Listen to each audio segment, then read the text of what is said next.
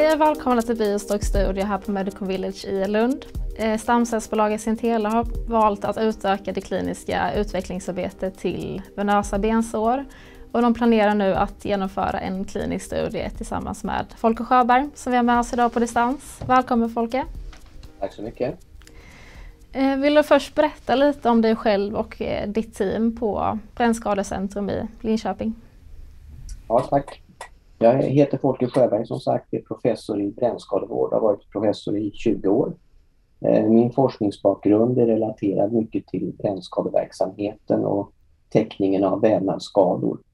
Och mitt team har nu de sista fem åren profilerat sig med att försöka få fram tekniker som kan täcka stora sår och framförallt för våra brännskador.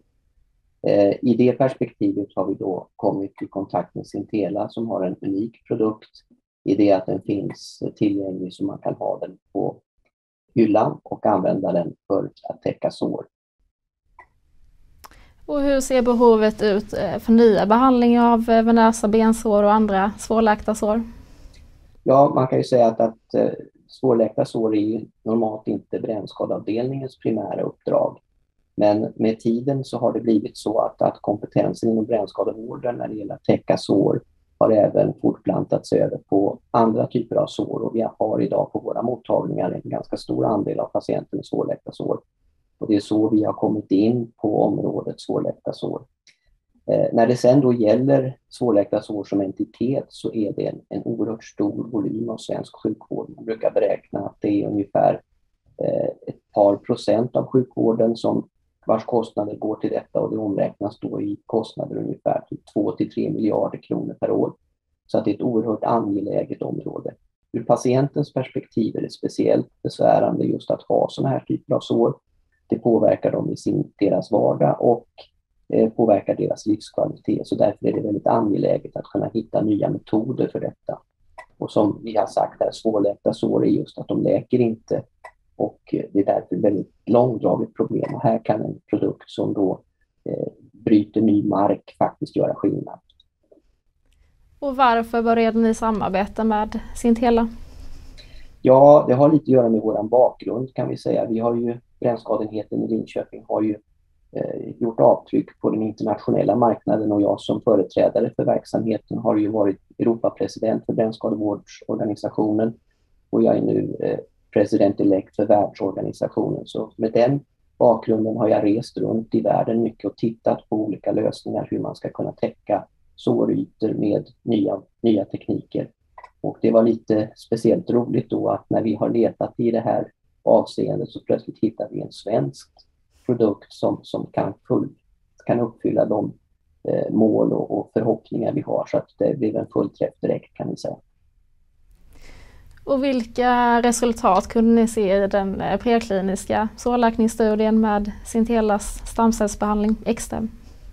Ja, och där var det ju så att när vi fick den första kontakten med Sintela så ville vi pröva deras produkt och vi har ju då en, en utvecklad sårmodell på gris. Och vi använder just grismodellen för att eh, grisens hud är, är den mest djurlika huden, som, eller den hud på djur som mest liknar människa. Och där har vi jobbat med olika typer av, av sårläkningstekniker för att förbättra en, en läkning av ett sår i den modellen. Och i den modellen då så prövade vi Sintelas produkt och vi gjorde det med olika koncentrationer av celler. Och vi kunde då visa att en viss koncentration hade en, en synnerligen gynnsam påverkan på läkningsförloppet i den här modellen. Och vad kan XTEM tillföra jämfört med andra cellterapier som har prövats för eh, svårläkta sår? Man kan ju säga att den, den vanligaste tekniken som används hittills är att använda hudceller, keratinocyter, som man då antingen fripreparerar från en, en, en biopsi, det vill säga en vävnadsbit, eller att man odlar i labbet själv och får många fler Bägge de här två teknikerna har ju använts i ett 30-tal år och tyvärr så har ju resultaten varit väldigt nedslående. Eh, man, man har sett att det här inte är den, den, det ger det slutresultat som man önskar och dessutom så tar det lång tid att odla fram de här cellerna. Vilket gör att ofta så läker många av dem, framförallt på brännskadesidan, de patienterna innan ens produkten är färdig. Så för brännskadevårdens del så är det här ett unikt tillfälle med en produkt som har en väsentligt större potential än keratinocyterna, hudcellerna i sig, och att, att åstadkomma läkning. Dessutom finns de då tillgängliga direkt och det har att göra med att, att den här typen av cellmaterial inte är immunogent på samma sätt som, som keratinocyter, utvecklade hudceller så att säga. Vilket gör att man kan ta material från en människa och ge till en annan människa. Och det är också unikt för det skapar just den här möjligheten att ha en färdig produkt när man behöver det. Och vilka resultat hoppas ni på att se när ni väl börjar behandla patienterna med Extrem?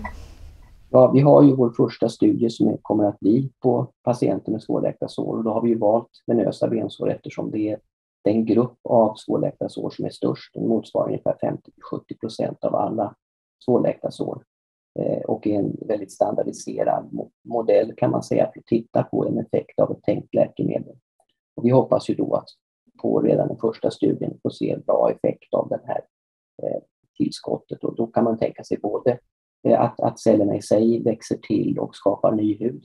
Man kan också tänka sig att cellerna skapar en mikromiljö som stimulerar lokalt i det svårläkta såret och skapar förutsättningar för det såret att läka av sig själv. Så att vi har två mekanismer här som vi tror kan ha en väldigt gynnsam effekt på det slutgiltiga resultatet. Spännande och eh, tack så mycket för att du var med oss här idag Folke. Tack så mycket.